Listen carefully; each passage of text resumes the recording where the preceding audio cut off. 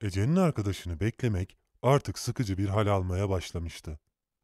Saat 10'a gelirken gelen araba sesiyle bu bekleyişimiz nihayet son bulmuştu. Hep beraber evin önüne çıktık.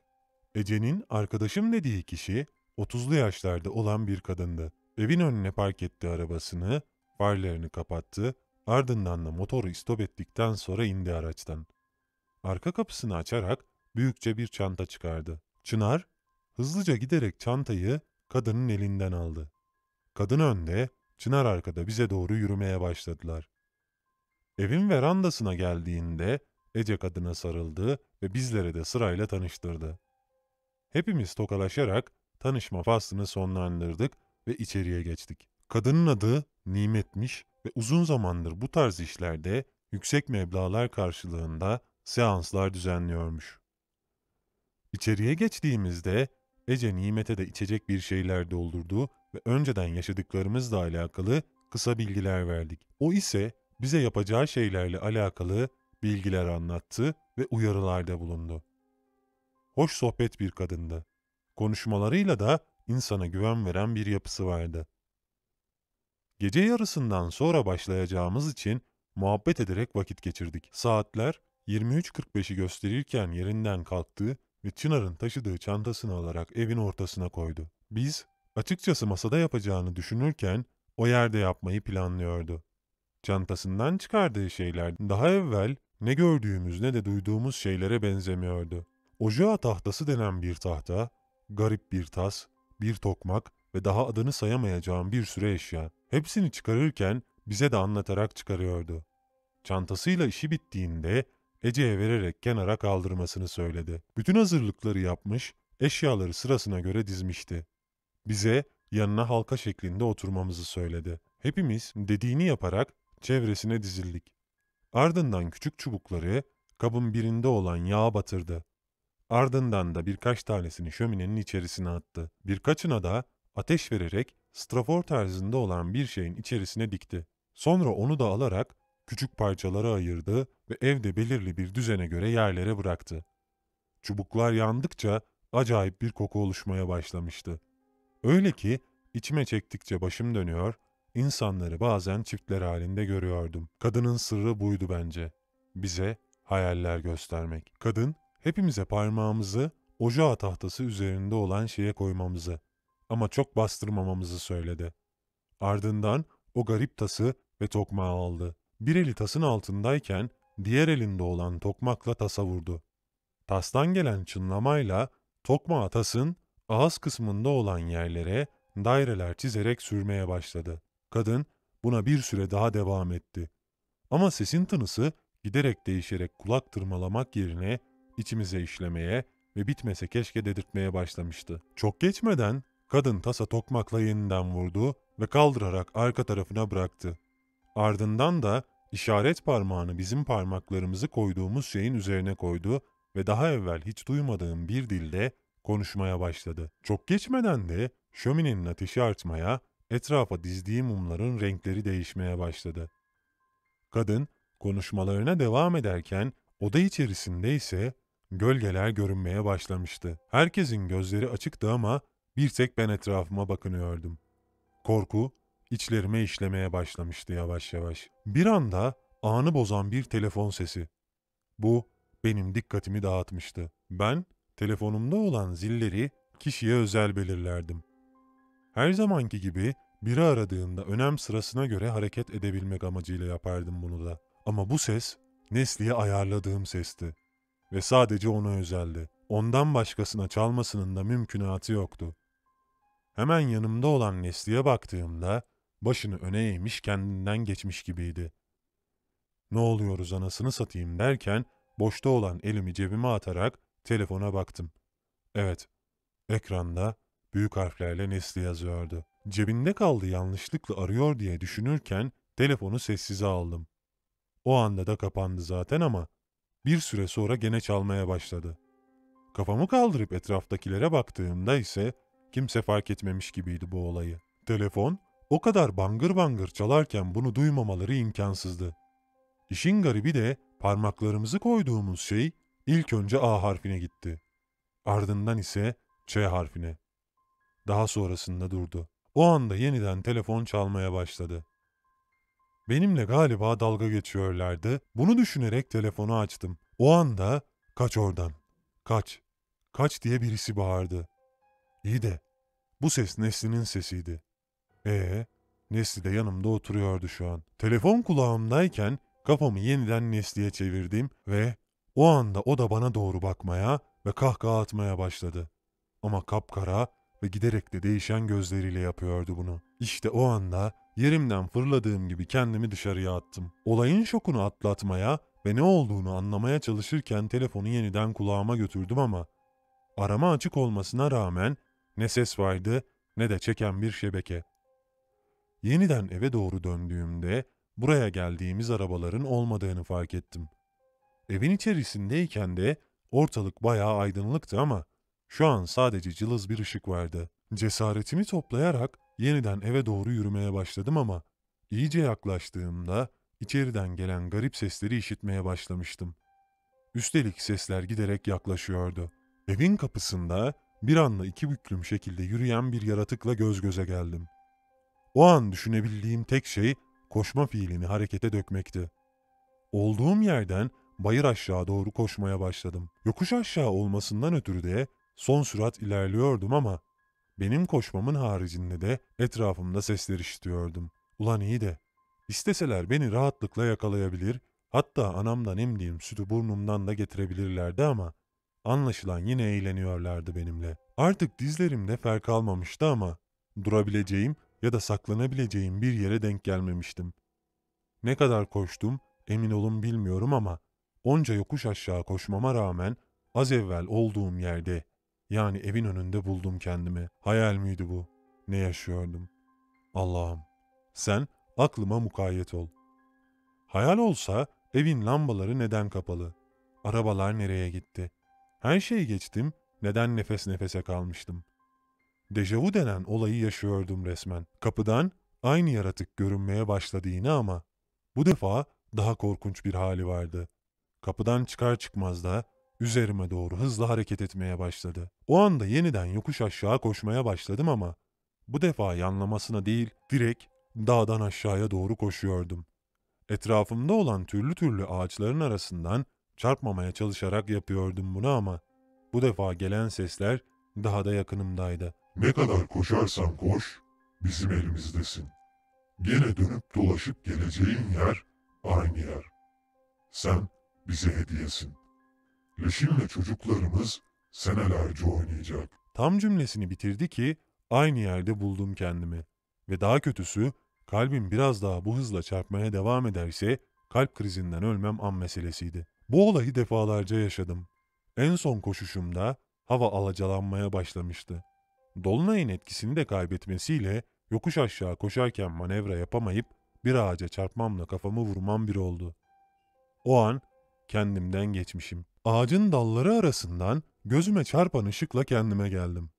Ama gelmesem daha iyiydi. Başımın çatlarcasına bir ağrısı vardı. Bir süre öylece bekledim ama ağrısına dayanamayıp yavaşça doğrulmaya çalıştım. Sanırım birkaç kaburgam kırılmıştı. O acı başımın ağrısından daha fazlaydı ama ölümü de burada bekleyemezdim. Telefona baktığımda şebekesi halen daha yoktu. Öyle ki acil arama yapmaya dahi izin vermiyordu. Allah'ım, şimdiye dek sana hayırlı bir kul olmadım biliyorum. Adını bile doğru dürüst anmadım bu yaşıma kadar. Sen ne olursun bana yardım et, güç ver. Bir süre daha o şekilde yattım. Lakin kalkmam ve buradan kurtulmam lazımdı. O anda yüzüstü dönersem öyle kalkmam daha kolay olur diye düşündüm ama dönmemle yerdeki küçük taş ve kozalakların kaburgalarıma denk gelmesiyle yerimden fırladım. Nasıl kalktım o an aklımda yok. Ama kalkmamla az da olsa kendime gelmiştim. Ağır ağır yokuş aşağı doğru yürümeye başladım. Bir süre sonra kemerimden birkaç ilik açarak genişlettim.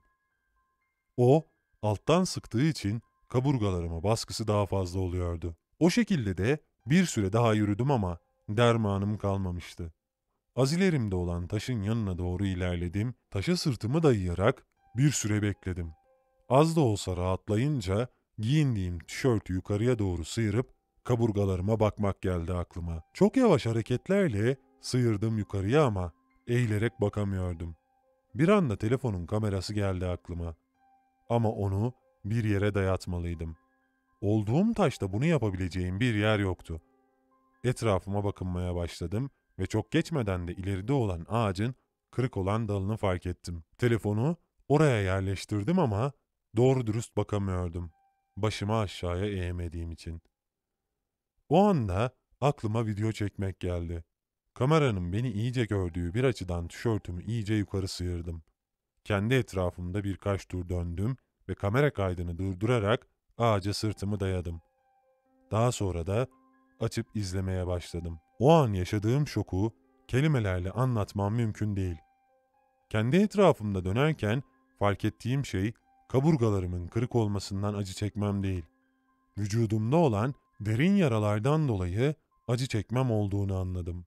Hem de birden fazla derin yara vardı. Başımı eğemememin nedeni ise o ana kadar hissetmediğim sırtımda olan yaralarmış. Keşke de hissetmeseydim.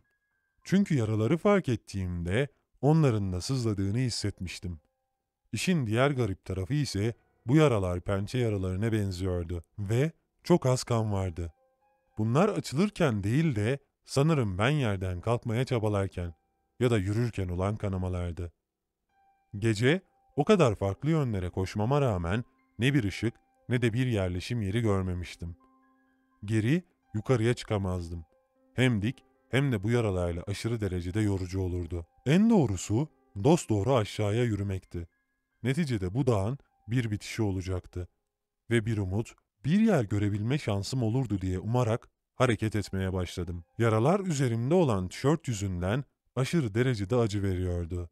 Başım da cabasıydı üstelik. Yürürken orada ne olduğunu düşünüyordum. Bir yandan da aklım almıyordu.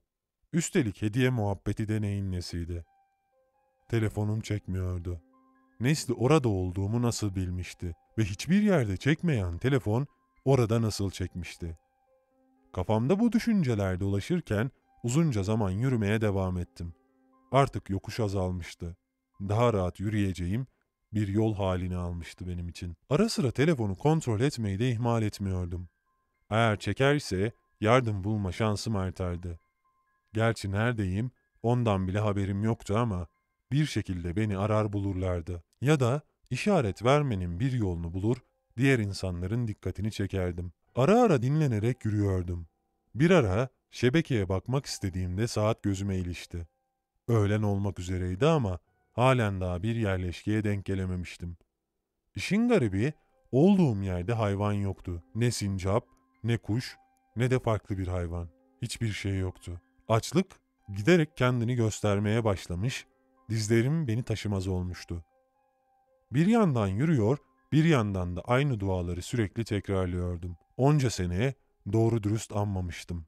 Manevi yönden büyük yaralarım vardı. Tek bildiğim dualar, din kültürü dersinde ne öğrendiysem onlar ama onları bile doğru dürüst hatırlamıyordum. Saat ikiye gelirken çan sesleri işitmeye başladım. O an ne kadar sevindim anlatamam. Sesin geldiği yöne doğru ilerlemeye başladım. Çok geçmeden koyunlar görünmeye başlamıştı. Hızlı adımlarla koyunlara yaklaştım, çobanı görmem de uzun sürmedi. Çobana seslendiğimde oturduğu yerden bana dönerek baktı. Bir şeyler yiyordu. Yerinden doğruldu ve bana bakmaya devam etti. Birkaç dakika sonra çobanın yanına varabilmiştim. Hayırdır, burada bizden başka canlı yoktur. Yolunu mu kaybettin diye sorgulayıcı ve tehditkar bir tonda sordu. Ben de evet, kayboldum. Saatlerdir yürüyorum, üstelik de ağacın birine çarpıp yaralandım. Yerleşke bulabilmek umuduyla dolanıyorum ortada. Ama şu ana kadar karşıma senden başka ne bir canlı ne de bir yer çıkmadı. Buraya en yakın köy senin köyün olmalı. Nasıl giderim oraya ya da gidebileceğim daha yakın bir yer yok mu? Buralarda kimseler yaşamaz. Ben de hayvanlarımla gezer dolanırım.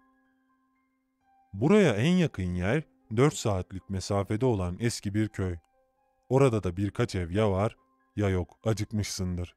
Gel hele soframa buyur karnını doyur. Sonra sana tarif ederim yola revan olursun. Çok sağ ol diyerek zorla da olsa sofrasına oturabildim. Sofrasında ekmek ve lor peyniri vardı sadece ama hiç yoktan iyidir diyerek ufak lokmalar halinde ağzıma götürdüm. Onun payıdır. Aç kalmasın diye de çok yemek istemiyordum. Az bir şey beni kendime getirse yeterdi. Birkaç lokma yedikten sonra yediğim her lokmada peynirin tadı değişmeye, giderek ekşi kokmaya başlamıştı. Hakeza ekmek de sanki bayatlıyor gibiydi. Daha fazla yiyemezdim. Yoksa kesin kusardım. Sofrana çok teşekkür ederim. Ben artık kalkayım. Gitmem gereken yol çok uzundur dedim ve nereden dilime geldi bilmem ama normalde de binde bir aklıma gelir. Dedim ya çok anmadım hayatımda diye. O an ya Allah ya Bismillah diyesim tuttu. İşte o anda sözleri söyleyerek doğrulmaya başladım ama ayağa kalktığımda çoban kahkaha atmaya başladı. Benimse midem bulanmaya. Üstelik koyunların da her biri sanki gülüyormuş gibi meğliyorlardı. Daha fazla kendimi tutamadan öğürmeye ve kusmaya başladım.